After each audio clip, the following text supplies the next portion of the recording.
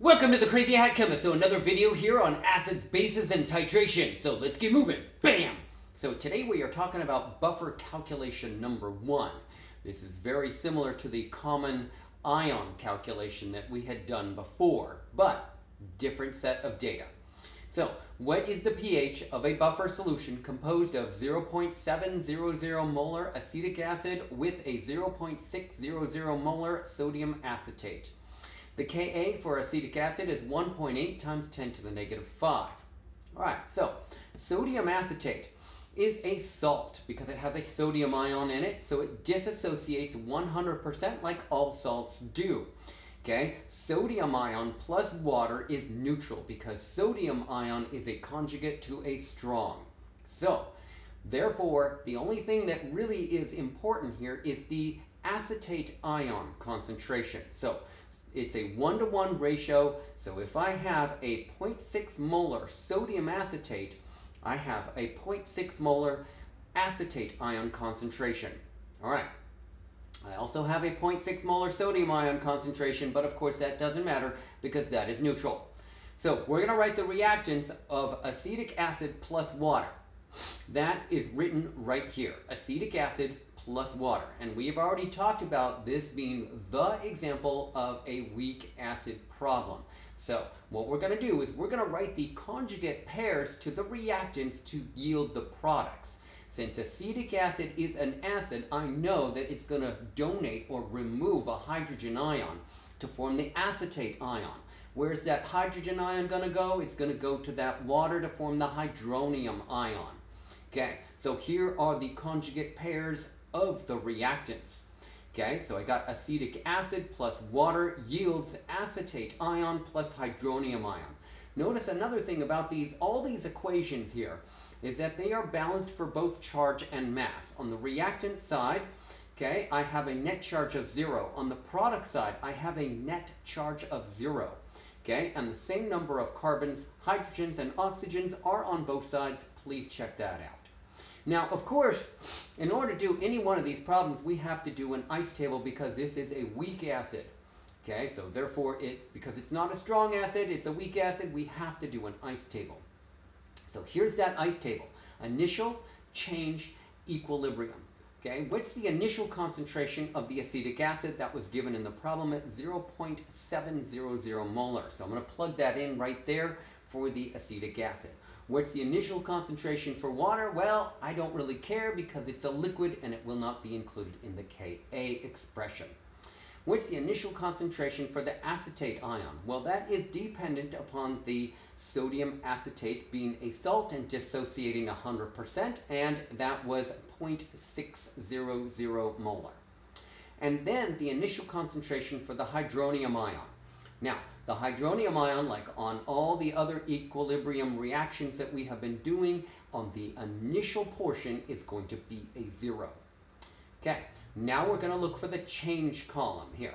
Now, if it's on the reactant side, it's a subtraction because you are decreasing those concentrations over time as you go from reactants to products. The products will increase over time, and that will be a plus sign. We are also using the stoichiometric coefficients and everything on this equation is a 1. So for the change on the acetic acid, it's going to be a minus 1x. For the water, I ignore it. For the acetate ion concentration, for the change, it's going to be a plus 1x, and for the hydronium ion, it's a plus 1x. So to get the equilibrium column, I'm going to add up the initial and add up the change. That's 0.700 minus x. That goes right there in the equilibrium. The water, again, I don't worry about that because it's a liquid and liquids are not included in K expressions. The acetate ion concentration is 0.600 plus x. And the hydronium ion concentration is 0 plus x, which is x.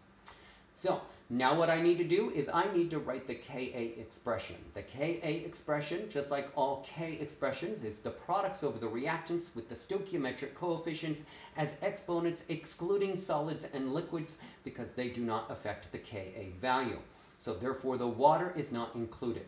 So my Ka expression is right here. That's Ka is equal to acetate ion times hydronium ion. Those are both in the numerator with exponents of ones. And the acetic acid concentration in the denominator with an exponent of 1. Now what I'm going to do is I am going to plug in my equilibrium sets of data into this equation as well as the Ka that was given in the problem. All right, so I got 1.8 times 10 to the negative 5. That's the Ka. That's on the left-hand side of the equals. On the right-hand side, I got 0.600 plus x times x. In the denominator of that right-hand side, I got 0.700 minus x. Okay? And remember, with an equilibrium problem, we are going to be asking ourselves this question. 100 times the K, is that less than the initial concentration? And if that is less than the initial concentration, then I'll be able to use the approximation. Okay, so 100 times 1.8 times 10 to the negative 5, is that less than 0.700? Yes, it is, so I'm going to get rid of that minus x in the denominator. Okay, I'm going to ask the other question. 100 times 1.8 times 10 to the negative 5, is that less than 0.600 molar? If that's a yes, of course it is, then I'm going to get rid of the plus x in the numerator term. I can't get rid of the x because, of course, well, that x by itself is what I'm trying to solve for.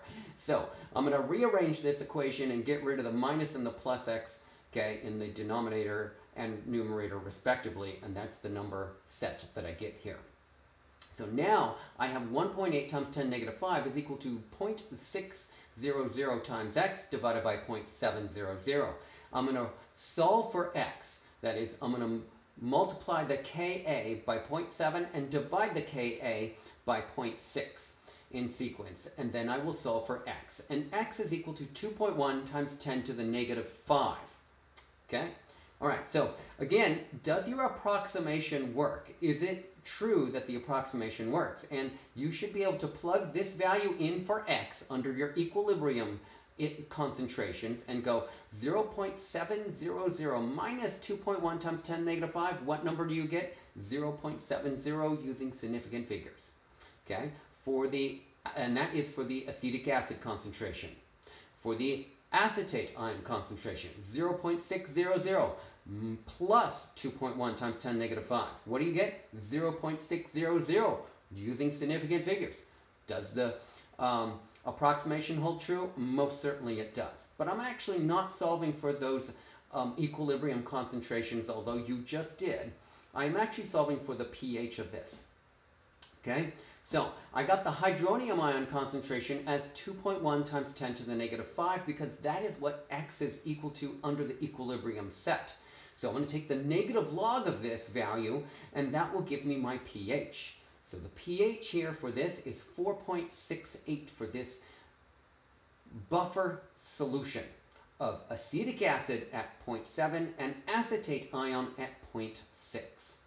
I'm hoping that this problem and this numeric value makes sense here for an answer of pH of 4.68 because it's acetic acid okay it should have a pH that is less than 7 because it's an acid but it has a little bit of its conjugate base here as well. So it's not as um, acidic as one might think because it has its conjugate base. So it has increased in its pH because of the conjugate pair.